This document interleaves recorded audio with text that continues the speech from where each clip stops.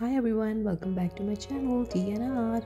So just a quick technique of this petri dish that I just got an idea.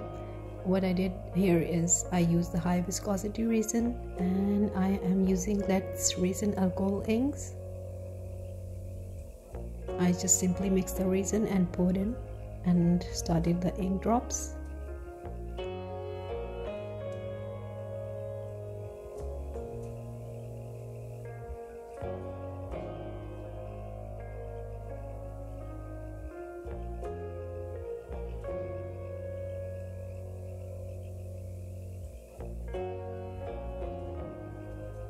So now I will be using the white from the Let's Resin alcohol ink it's the deep sinker and after that an hour later I will be using here. This is the ghost mica powder I'm using and I'm dipping my tip in it and just making swirls.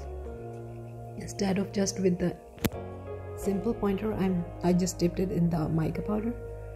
And now we see the results. What happened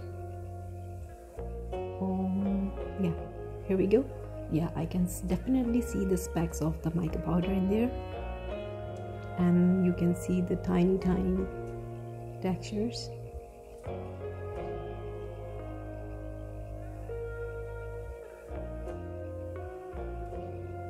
I got overboard with the inks so I got the mixture of colors coming out but still they are okay and fine.